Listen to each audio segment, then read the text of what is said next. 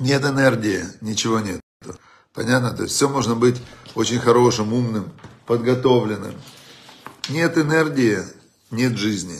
То есть есть человек так устроен, что в этом мире нас Всевышний посадил в материальные тела, материальные тела, и эти материальные тела, они болеют, они материальные тела хоть хотят все время кушать, все им надо кушать.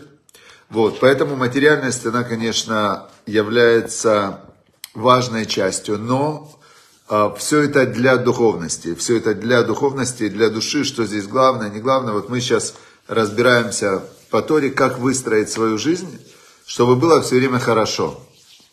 Как говорится, да, чтобы у нас все было, и нам за это ничего не было. Я думаю, что мы все воспитаны были в концепции, что хотелось бы, хотелось бы, чтобы у нас все было, а нам за это ничего не было. Да? Интересная концепция такая жизненная. Ну, будем стараться.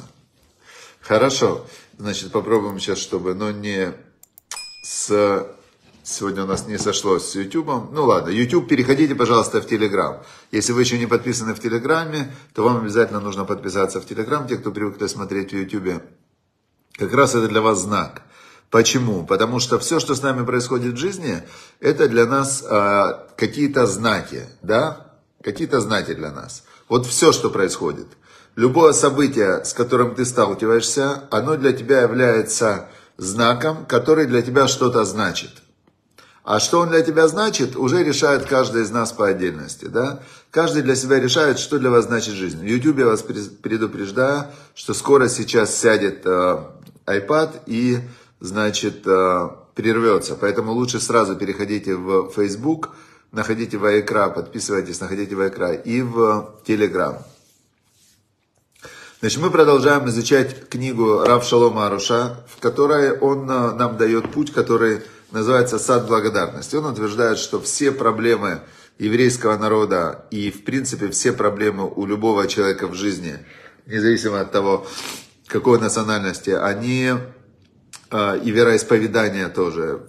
Корень всех проблем – это неблагодарность, говорит он, и неблагодарность Всевышнему, потому что Бог-то один, реальность одна. И неважно, где ты живешь, мы все э, находимся в одной и той же объективной реальности, и каждый находится в своей личной субъективной реальности.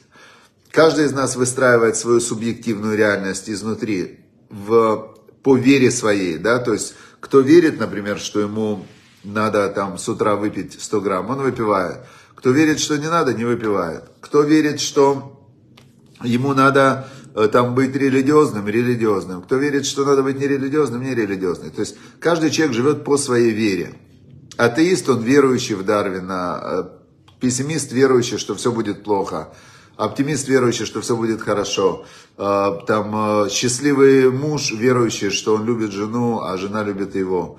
А жена в это время может быть верующая, что он ее не любит, и он к ней плохо относится. И каждый по своей вере, он получает субъективную реальность. Теперь Рав Шаломаруш, чью книгу мы изучаем, он нас научил уже сегодня 101 урок, как э, выстраивать свою субъективную реальность через призму благодарности. И вот мы сейчас перешли уже 11 глава. Всего в этой книге 12 глав. И вот мы уже 11 глава. И тут э, мне было интересно, о чем же дальше будет, да? О чем дальше будет. И э, начинается 11 глава с первого рассказа такого, да? Исправление основ веры. Он говорит, смотри, раз мы все верующие, если мы все верующие, то мы долго говорили про благодарность. То есть он, основа как бы той идеи, которую он нам давал, которую мы изучали, что нужно благодарить Всевышнего, что если ты благодарен Всевышнему, то ты создаешь с ним такие отношения, наполненные любовью, что и тебе хорошо, и Всевышнему хорошо, и будет хорошо. Если ты веришь, что Бог тебя любит, и Он тебе приготовил хорошее, то ты тогда в этом направлении выстраиваешь свою жизнь, и она наполняется добром. У меня вчера был интересный такой момент. Я, знаете, бывает, когда очень много дел, которые особенно ты не хочешь делать, да, вот вдруг приходит, там принято такие дела называть проблемы. Что такое проблема? Проблема это когда ты не хочешь этим заниматься, а оно тебя, значит, заставляет. вот у меня вчера вдруг на меня навалилось там э, одновременно, я не знаю, ну, пять, допустим, да, пять каких-то новых проблем.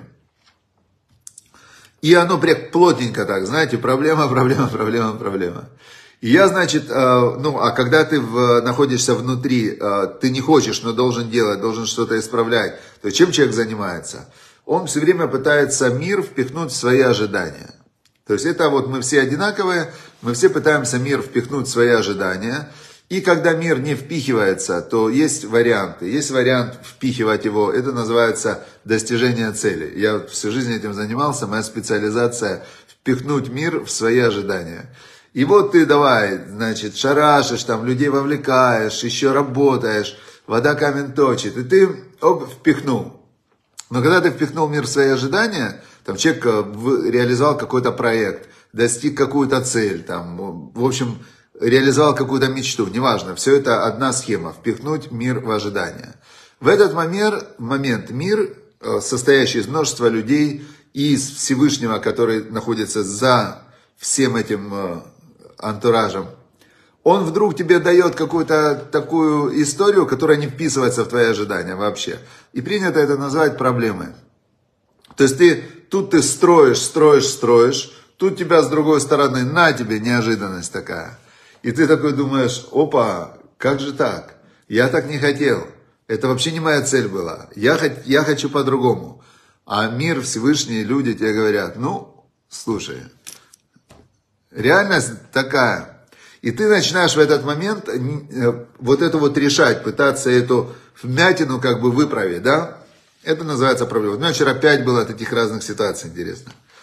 И я в какой-то момент э, остановился и думаю, а человеку эмоционально плохо, когда его заставляют делать то, что он не хочет.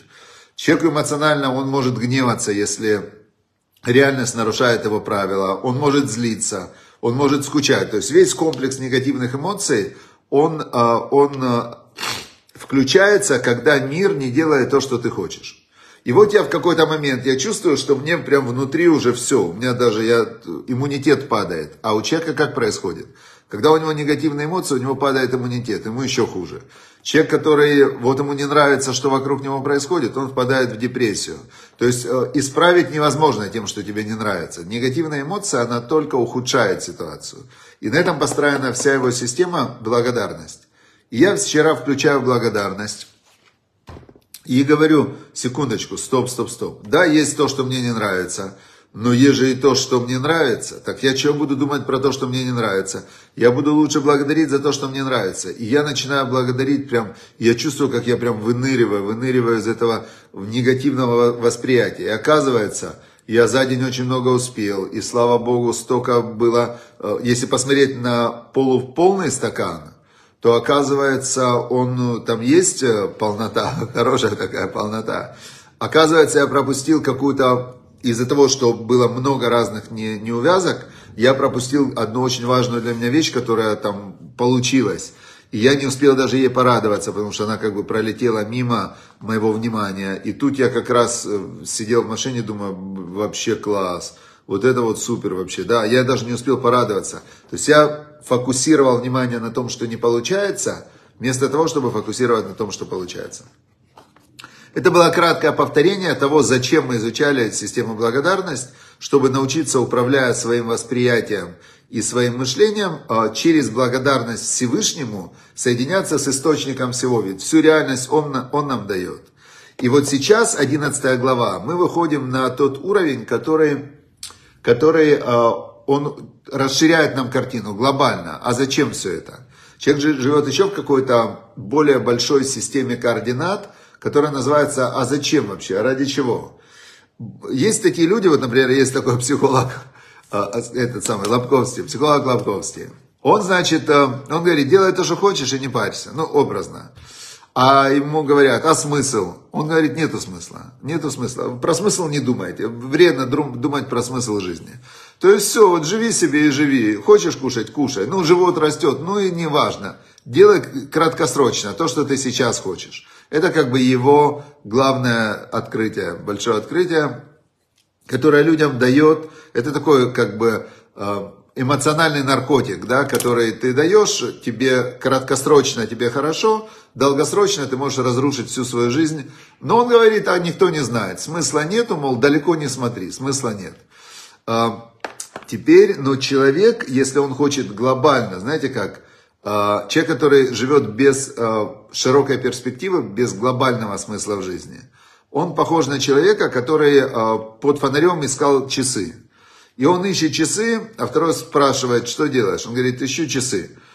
Он тоже начал искать, говорит, ну нету здесь, а что ты их, э, ты здесь их потерял? Он говорит, не, я их не здесь потерял, я их потерял там, не знаю даже, где я их потерял. А чего ты ищешь под фонарем? Он говорит, здесь легче искать, под фонарем хорошо видно, так я буду лучше тут искать. Так человек, который отказывается от глобального смысла жизни, не хочет выстраивать свою жизнь как бы глобально, да, в какой-то общей картине – то он похож на того, кто ищет часы под фонарем, хотя он их там не потерял. То есть ты можешь действительно краткосрочно получать много удовольствия от еды, от отдыха, от того, что ты делаешь то, что ты хочешь, от того, что ты говоришь, не думая. То есть ты на секунду ты расслабляешься, ты какой-то свой уровень, ты говоришь, да, я хочу, я делаю. Но если ты хочешь и ты делаешь, а это противоречит твоим каким-то глубинным ценностям, а если ты хочешь и ты делаешь, а оно тебе создает такие условия, что потом тебе это создает неприятности. Ты же не хочешь неприятности. То есть хочу, делаю, там человек хочет алкоголь. Он хочет алкоголь, да? Но ты же не хочешь потом быть больным, чтобы развести с женой, потерять там работу. Ты же это не хочешь. Так э, как же ты можешь делать то, что ты хочешь, а в этот же момент ты делаешь себе же вредишь, и ты в долгосрочную делаешь то, что ты не хочешь. Поэтому я э, считаю, что система Лобковского, она очень вредная и глобально она приносит вреда больше, чем пользы. То есть на каком-то этапе и наркотики дают удовольствие, да, то есть ты, что, классно, уколись и тебе и кайфуй. Вот это примерно такой эффект. Поэтому нужно глобально выстроить свою жизнь. И в 11 главе, э, значит, я так понимаю, что мы сейчас уходим вот в этот вот момент глобально, как все работает. Начинает он с того, что первая глава начинается «Исправление основ веры». Сказал как-то Раб, Раби Нахман. Раби Нахман это учитель Рав Шалома Аруша. Раби Нахман жил в 1830 году, где-то вот в то время, или 810 ну, вот во времена Наполеона он жил, да, и он похоронен как раз в Умане, куда съезжаются паломники каждый год на Рошашана. И он был такой великий учитель, у него была своя система а, которая базировалась на том, чтобы выйти из страшной темноты. Вот она, эта система, привлекает тех людей, которых происходит что-то вот, ну, действительно тяжелое в жизни.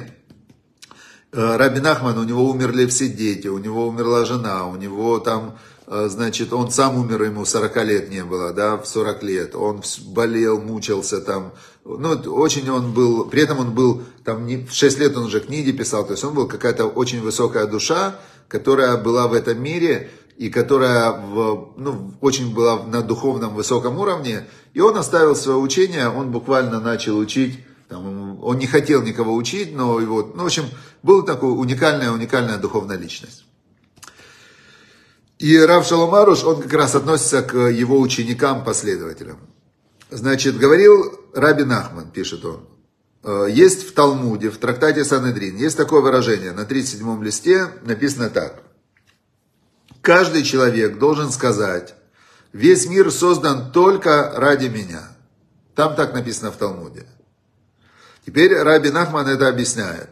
Он говорит, секундочку, каждый человек должен сказать, весь мир создан ради меня.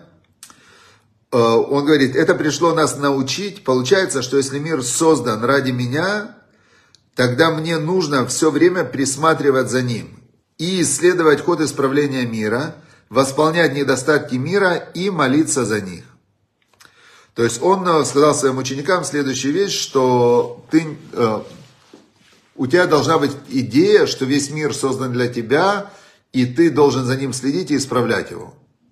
Очень странная идея, такая, ну, действительно, обычный нормальный человек, он говорит, секундочку, только, то, только что мы изучали всю книгу, построенную на идее, что нужно смирить свою волю перед Всевышним и благо, принять Его волю, благодарить Его за все, и за хорошее, и за плохое. Э, есть Бог, хозяин мироздания, и когда я начинаю Его благодарить, принимая Его волю, в этот момент мне становится хорошо, приятно, весело, у меня счастье, у меня все, я принимаю как есть, у меня нет моей воли, я принимаю волю его. Это была вся концепция, которую мы изучали на протяжении 100 уроков. И в хорошем и плохом прими волю Всевышнего, поблагодари Его, и тогда у тебя будет все хорошо, потому что Всевышний бесконечный, добрый, любящий. И если ты перестанешь э, заниматься самодеятельностью, грубо говоря, да, то есть все, что в, ми- в жизни каждого из нас есть плохого и неприятного, это сделал каждый из нас. А все, что есть хорошего, это Всевышний. И когда ты перестаешь заниматься самодеятельностью и принимаешь волю Всевышнего вместо своей, убираешь свое эго, то ты тогда с ним становишься в резонансе. Всевышний бесконечный, всесильный, всемогущий, любящий. И у тебя внутри полный кайф, э, нет никакой тревоги, страха. У тебя веселье, радость, ты поешь, танцуешь. И мало этого, у тебя плюсы все получается, потому что тот, кто делает волю Всевышнего как свою, ну, заменяет свою волю волей Всевышнего, Всевышний потом его желания выполняет как свои. То есть ты в резонансе, как бы Всевышний через тебя начинает работать. Ты как бы даешь свое, вот это вот э, вертикально ходящую лужу, э, свое тело, ты даешь его как биоробот для проявления Творца мироздания. Что может быть лучше, да? Теперь, ну для этого надо смириться. А тут он нам что говорит? Что я должен сказать, весь мир создан для меня, и я должен за ним присматривать и, значит, исправлять. То есть две, с моей точки зрения, две абсолютно разные события, позиции. Э, дальше он приводит пример, что человек, который владеет домом, должен следить за тем, чтобы дом был чистым, убранным, отремонтированным, чтобы всем было хорошо, его домочадцам, чтобы никто не чувствовал ни в чем недостатка, чтобы все вели себя достойно, уважали друг друга и так далее. И это как бы человек, который э, следит за собой и за своим пространством, э, он так себя ведет. Теперь, ну, мне следить за всем миром. Посмотрите, что в мире творится, да? Есть анекдот, когда один человек пришел к портному и заказал костюм. Ну, портной говорит, там, через неделю приходи. Тот приходит, он говорит, извини, не успел, там надо еще мерки, все, через месяц, то через месяц, через два, через три.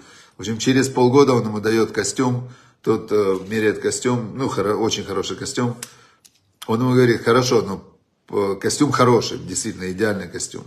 Но говорит, я вас не понимаю. Бог за 7 дней сотворил мир. А вы 6 месяцев делали костюм. А партнер на него смотрит, говорит, и говорит, посмотри на этот костюм. Это перфект, вообще прелесть.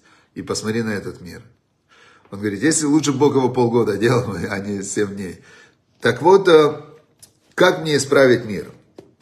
Тут обращает внимание, обращает внимание Рав Шалом Аруш, что его учитель сказал в конце восполнять недостатки мира и молиться за них. О, то есть если ты не можешь их восполнять, ты можешь молиться. А теперь, если ты можешь молиться, то о чем ты будешь молиться? Чтобы люди вокруг вернулись ко Всевышнему. И дальше он здесь, э, он э, говорит о том, что есть э, два типа молитвы. Два типа молитвы. Один тип молитвы, он называется до приговора, второй после приговора. То есть он говорит такую вещь, что есть э, духовная реальность, она бывает э, двух типов. Первая духовная реальность это когда до приговора, то, что называется. Есть в Торе такая, как метафора, да, метафора или, э, как сказать, иллюстрация, как работает, как работает молитва человека, как работает жизнь, наши действия. Это Яков, когда он заснул на когда он заснул, убегал на Ица, от Исава, и он заснул, и он спал и видел э, лестницу в небо. Лестница в небо, по которой ангелы поднимались и ангелы опускались. И Яков тогда, он э, проснулся, и он пообещал Богу, взял обет, что если ты будешь со мной, будешь меня охранять, и я вернусь в дом моих родителей, и все будет со мной хорошо, то я буду тебе служить, и десятину отдам тебе.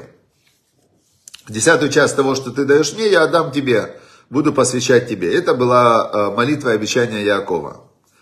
Теперь э, вот эти вот ангелы, которые поднимаются, это были ангелы, это мысли и дела человека. Вот, например, э, Александр Нагорный, да, например, он проснулся и сегодня утром и думает, значит, наверное, буду исправлять мир, там, да, пойду, буду исправлять мир, и он, все, что он может себе придумать, в принципе, это его, как бы, ангел, которого он создает как программа. То есть, если у него есть какое-то ярко выраженное намерение, то каждая мысль, каждая идея, каждое слово, это то, что называли, называли в древности мудрецы ангелами. Сегодня мы бы назвали это а, это мы бы назвали какими-то программами больше, ну, современным языком, да, какими-то алгоритмами. Мы использовали бы другие слова, э, но утром просыпается человек и говорит, «Мудайни или фанехам, я благодарен перед тобой, это ангел». А, потом он делает какую-то заповедь, это ангел.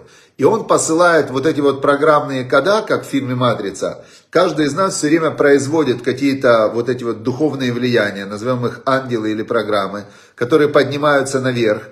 И дальше они там у каждого из нас есть файл. Как говорили мудрецы в Торе, что все твои дела записываются в книгу. Так это не книга, это файл. Есть э, Google у каждого, у кого есть там э, Google диск, там есть облако, и там вся информация, все уходит туда, или iCloud, да, все с телефона у меня, все с компьютера, все уходит в iCloud. И если я даже потеряю устройство какое-то, не дай бог, да, то любое новое устройство я ввожу в iCloud, и на него спускается вся необходимая информация. Это ангелы, которые поднимаются. Теперь, а что такое ангелы, которые опускаются? На каждого из нас с неба идет влияние. Вот бывает черная полоса начинается. Человек думает, что такое, куда не пойду, все закрыто. Что не сделаю, все не идет. Это то, что назвал, а, значит, Раби Нахман приговор. То есть ангелы, которые опускаются, это идет уже с неба тем языком, который говорили мудрецы, что есть суд, и есть суды над каждым из нас, есть суды. Есть суд Роша Шана, это когда сменяется год. Есть суды, а, есть разные моменты суда. И опускается то, что назвали на Востоке карма. Опускается вот эта программа, которая опускается. Иногда она опускается такая, как черное свинцовое облако. Иногда она опускается, как наоборот, такая прям облака, белогривые лошадки, такие, человека прет, он прям его, вот так вот у него все ведет. И бывают как бы периоды. Почему? Потому что ты все время шлешь этих ангелов, потом эти ангелы тебе опускаются, и ты попадаешь, или ты попадаешь в ангела, который создал своими добрыми делами, своими молитвами, своими прав... хорошими поступками, то, что в объективной духовной реальности называется добро. Или же ты создаешь э, ангелов, которые были э, негативные своим злом, нарушением, то, что называется грех. И э, потом опускается на тебя вот этот вот период, который и что здесь самое удивительное, очень тяжело, все очень э, смешано. Как говорил царь Соломон, нет садика, праведника, который бы не согрешил. Что мы смотрим, человек вроде праведный, а у него черная полоса. На другого смотрим, он там злодей, а у него все прет. Почему? Потому что когда-то он создал доброго ангела. Например, этот самый Пабло Эскобар. Он тысячу человек своими руками убил, а построил город, в котором люди бездомные, которые вообще там э, нищета была, он им построил целый город, чтобы они получили, подарил им всем квартиры, и они жили бесплатно, как в раю. И на него молились целые семьи, что он дал им средства к существованию. И вот получается, тут он создал ангелов-убийц, которые должны были его уничтожить. Тут он создал ангелов, которые его защищали. И вся эта система работает по принципу справедливость. Невозможно. Ты создал, ну да, но именно вот то, что Наталья заметила, ты транслируешь постоянно разных ангелов.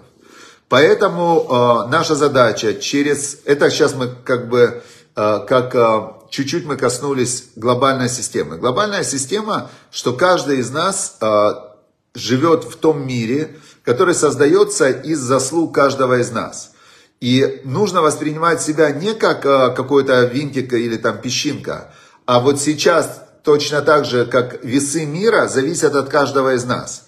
Если ты не можешь действительно там менять правительство, участвовать в войнах, то ты можешь молиться за то, чтобы был мир, или ты можешь не молиться за то, чтобы был, был мир.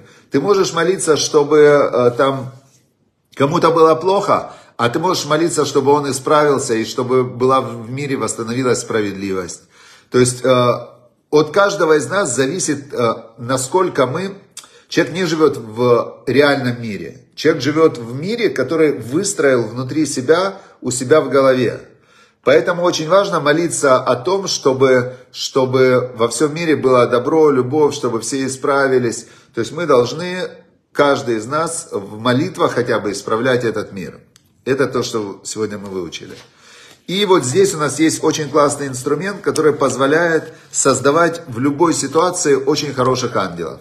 Сейчас мы изучим, как создавать хороших ангелов. Практический инструмент из американской книги Happiness, Formula Stories and Insights. Раби Зелик Плискин, это мудрость Торы, он равин, э, но он, э, как бы, его стиль подачи, он очень такой американский. И вот он нам э, сегодня дает урок, коротенький такой. Transform your problems into goals. Значит, трансформируй свои проблемы в цели. Он говорит, он говорит такую вещь, Рав Зелек Плискин, да, он говорит такую вещь. Значит, вот есть человек, у него есть проблемы. Какая у тебя проблема? Вот там э, денег не хватает, э, ухо болит, нога болит, то болит, э, семьи нет, или там плохие отношения. У него масса проблем. Он говорит, я сейчас, когда ему люди начинают рассказывать о своих проблемах, он им говорит, я сейчас сделаю вам так, что ваши проблемы моментально исчезнут. Опа, как это так? Как мы? Давайте я сейчас его способом вам помогу тоже. Если у вас есть проблемы, то его способ помогает максимально, моментально, чтобы они illuminate, на английском новое слово, даже перевод посмотрел, для меня новое. Illuminate, что они будут, все проблемы исчезнут, будут уничтожены. Как? Он говорит, у тебя нет проблем, у тебя есть твои желания, которые ты можешь назвать, которые не реализовались. Ты можешь их назвать проблемой, а можешь их назвать целью. Например, Денег не хватает. Хочу больше зарабатывать. У тебя нет проблемы, что у тебя денег не хватает. У тебя есть желание, хочу больше зарабатывать. Болит нога. Это проблема. А как ее превратить в цель? Хочу, чтобы нога прошла, хочу, чтобы вылечить ногу, вылечить тело, хочу, чтобы была у меня здоровье, гибкость и так далее. У тебя есть цель. Э, проблемы в семье. Хочу, чтобы у меня в семье были прекрасные отношения. То есть любую проблему с помощью слова «хочу» можно перевернуть в цель. И тогда ты создаешь ангела не такого, что мне все плохо, мне все не нравится. Я человек, у которого много нереализованных желаний. Это отлично. Или быть человеком, у которого проблема это как тупик, безысходность такая. А желание это то, что ты хочешь, и то, что потенциально может реализоваться при наличии, в первую очередь, твои действия, а дальше а, обучение, изучение, добрые дела, молитва, помощь и так далее. То есть, чтобы проблемы все исчезли, нужно научиться конверт, переворачивать любую проблему в своем восприятии в желание. Тогда ты создаешь ангела в желании. Ты человек, у которого много желаний. Это круто. Или ты проблемный какой-то человек. Все, дорогие друзья, значит, э, всем огромное спасибо. Пожалуйста, подпишитесь на канал Вайкра в Телеграме. Я туда сейчас, э, мы сейчас э, двигаемся дальше в развитии нашей платформы Вайкра. И сейчас мы делаем, э, у нас есть много учебных ботов, но люди об этом не знают. Есть бот Мишлей, есть бот Экклезиаст, есть бот Совета Рэбе, есть циклы уроков. И мы сейчас налаживаем такую, как школа жизни, называется она, школа, школа, онлайн-школа «Жизнь по Торе».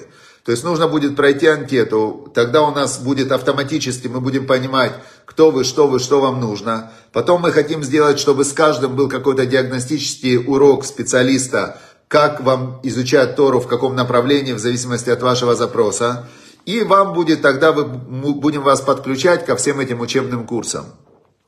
Это наш следующий этап, следующий план. Поэтому э, я буду в телеграм-канал, там, где есть записи всех моих уроков – я буду туда периодически эту анкетку э, цеплять, чтобы вы заполнили анкету, попали в автоматическую CRM, чтобы мы знали, что конкретно вы хотите изучать, кто вы и так далее. И мы сейчас будем, уже у нас создано много обучающих курсов, и, значит, будем дальше создавать под ваши запросы. Слава Богу, у нас 50 тысяч часов просмотра разных уроков на сегодняшний день в месяц. 50 тысяч часов. У нас очень, ну, действительно, очень получилась прекрасная идея, что у нас Тору преподают люди, которые э, которые сами стали религиозными и которые вот делятся, что это им дало, практики такие, да, жизненные. И, слава Богу, значит, э, очень, я читаю ваши отзывы после уроков, у кого какие чудеса. Благодарность – это ключ ко всему. Это я согласен. Согласен с Равзелегом, с э, Равином Шаломарушем. Уже думаю, какую следующую книгу изучать. Осталось всего нам две главы, прям даже жалко. Но очень важно не останавливаться, а повторять. Потому что то, что человек понял что-то, это еще не значит, что он это будет делать. А результаты дают только действия. Поэтому мы сейчас внедрять будем, прям мощно, сильно внедрять вот эту тему благодарность, молитва, как правильно молиться, как благодарить, как быть счастливыми. А дальше будем двигаться к... Э, на, у нас одна цель. Вот спрашивал Дамир Партнер, какая цель у нас. Цель у нас реализовать божественный замысел. Какой божественный замысел? Мне кажется, что божественный замысел – это чтобы человек реализовал свой потенциал, духовный потенциал в этом мире. В материальность, мне кажется, это, это поддержка для духовности. То есть суть э, прохождения этого, этого жизненного пути, все-таки, мне кажется, главная цель жизни – это реализовать свой духовный потенциал. То есть у, по Торе смерть человека – это третье рождение. Причем первых два рождения от человека не зависят. Это его, ему дали эту возможность. Да? То есть мы все получаем возможность от Всевышнего вначале стали зародышами, потом от родителей вышли в этот мир, а потом уже в этом мире мы растем, растем, растем, и когда человек уходит из этого мира, выходит из этого тела, это называется третье рождение. И мне кажется, что смысл жизни все-таки вот в этом третьем рождении, чтобы за свой жизненный путь так построить свою духовную сферу, чтобы не, не исчезнуть.